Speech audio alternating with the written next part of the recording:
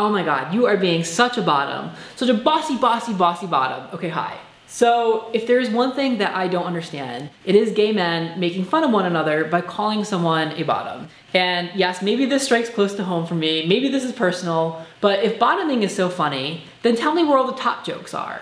The top jokes don't exist, and I'll tell you why. It's because we live in a world where topping is associated with masculinity, and being a man is seen as strong and powerful, Bottoming, on the other hand, is associated with femininity, and being a woman is viewed wrongly as being submissive and weak. So if you think it's funny to call someone a bottom, what you're really doing is expressing your own internalized homophobia, misogyny, and it's not cute. So you think you're being funny, but what you're really saying is, um, oh, I hate myself and I think that women are less than. So before you ask me how to get four gay bottoms to sit on a bar stool and tell me that the answer is turning the bar stool upside down and expecting me to laugh, Let's think about how weak you really need to be to literally, literally take a penis inside your butt, okay? Like, I'm, I'm pretty sure that that is not for the faint of heart, okay? That being a bottom is not a sign of weakness, it's a sign of strength. And, oh, by the way, it takes a lot of courage to go after what you want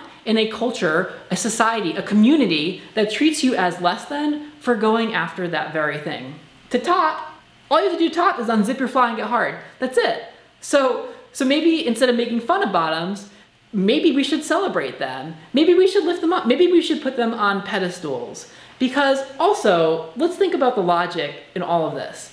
That it takes a bottom to have a top. So if you really do enjoy topping, and if you really do want to get laid, then maybe, just maybe, you shouldn't make fun of people for doing the very thing that you want them to do to you because you might make fun of me for being a bottom, but I'm gonna make fun of you for being single.